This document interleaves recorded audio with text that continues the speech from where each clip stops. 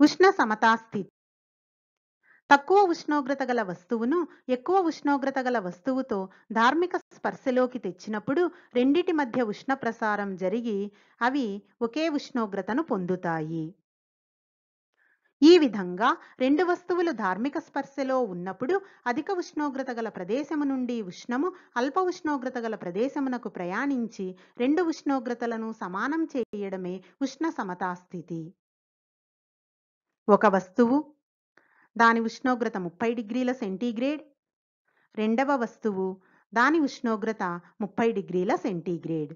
ఈ రెండింటిని ధార్మిక స్పర్శలోకి తెచ్చినప్పుడు వాటి ఉష్ణోగ్రతలు సమానం కనుక ఎటు నుండి ఎటువైపుకు ఉష్ణ ప్రసారం జరగదు. ఫలిత ఉష్ణోగ్రత ముప్పై డిగ్రీల సెంటీగ్రేడ్.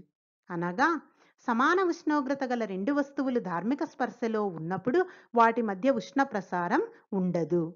సహజంగానే అవి ఉష్ణ సమతాస్థితిలో ఉంటాయి. ఇప్పుడు ఒకే ద్రవ్యరాశి గల రెండు వస్తువులు ధార్మిక స్పర్శలో ఉన్నప్పుడు ఉష్ణ సమతాస్థితిని చూద్దాం. ఒక వస్తువు దాని ఉష్ణోగ్రత ముప్పై డిగ్రీల సెంటీగ్రేడ్.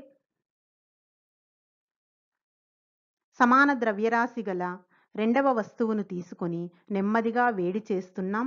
ఉష్ణోగ్రత క్రమంగా పెరిగి డెబ్బై డిగ్రీల సెంటీగ్రేడును చేరుకుంది. ఈ సందర్భంలో రెండవ వస్తువును మొదటి దానితో ధార్మిక స్పర్శలోకి తీసుకొచ్చాం. ఇప్పుడు ఉష్ణము అధిక ఉష్ణోగ్రత గల వస్తువు నుండి తక్కువ ఉష్ణోగ్రత గల వస్తువు వైపుకు ప్రసారం అవుతుంది కొద్దిసేపటికి రెండు ఫలిత ఉష్ణోగ్రతను పొందుతాయి. అది ఇక్కడ యాభై డిగ్రీల సెంటీగ్రేడ్గా చూపబడింది. రెండవ సందర్భాన్ని చూద్దాం. ఒక బీకరు దానిలో నీరు తీసుకొని నీటి యొక్క ఉష్ణోగ్రతను గుర్తిస్తున్నాం. అది యాభై డిగ్రీల సెంటీగ్రేడ్.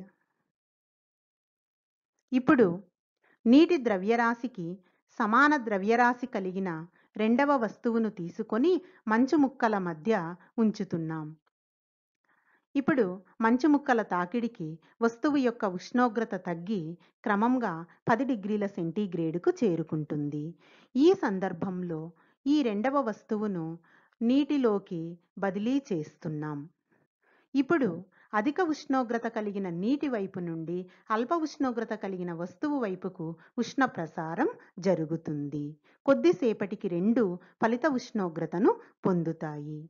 ఈ సందర్భంలో ఫలిత ఉష్ణోగ్రతను మనం గుర్తించినట్లయితే అది ముప్పై డిగ్రీల సెంటీగ్రేడుకు చేరుకుంది. అనగా ఒకే ద్రవ్యరాశి వేర్వేరు ఉష్ణోగ్రతలు గల రెండు పదార్థాలను కలిపినప్పుడు ఫలిత ఉష్ణోగ్రత ఆ రెండు పదార్థాల సరాసరి ఉష్ణోగ్రతకు సమానము. వేర్వేరు ద్రవ్యరాశులు గల రెండు వస్తువులు ధార్మిక స్పర్శలో ఉంటే ఉష్ణ సమతాస్థితి ఎలా ఉంటుందో ఇప్పుడు చూద్దాం. నూట ఇరవై గ్రాముల ద్రవ్యరాశి గల ఇరవై డిగ్రీల సెంటీగ్రేడ్ ఉష్ణోగ్రత కలిగిన ఒక వస్తువును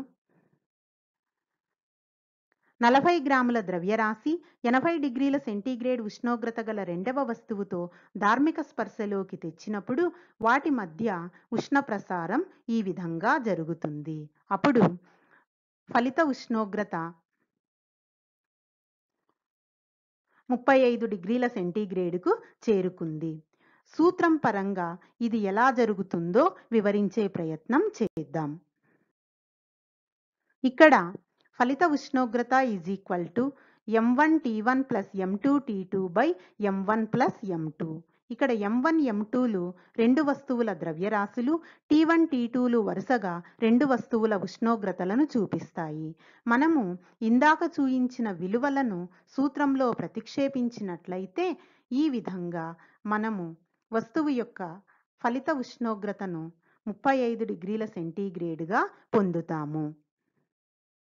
మరొక్కసారి గుర్తు చేసుకుందాం. రెండు వస్తువులు ధార్మిక స్పర్శలో ఉన్నప్పుడు రెండిటి మధ్య ఉష్ణ ప్రసారం జరుగుతుంది. ఉష్ణ ప్రసారం అధిక ఉష్ణోగ్రత గల వస్తువు నుండి అల్ప ఉష్ణోగ్రత గల వస్తువు వైపుకు ఉండి రెండింటి ఉష్ణోగ్రత సమానమయ్యే వరకు కొనసాగుతుంది.